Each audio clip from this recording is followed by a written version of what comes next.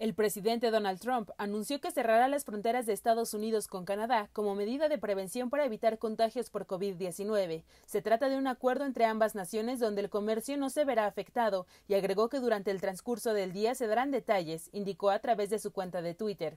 El lunes, Canadá había anunciado que tomaría la misma medida, aunque el gobierno del primer ministro Justin Trudeau no precisó cuáles viajes serían clasificados como no esenciales. Al momento, Canadá también mantiene restricciones de viajes turísticos para personas provenientes de Europa, principalmente medida que no aplica para connacionales y personas que cuenten con la ciudadanía permanente.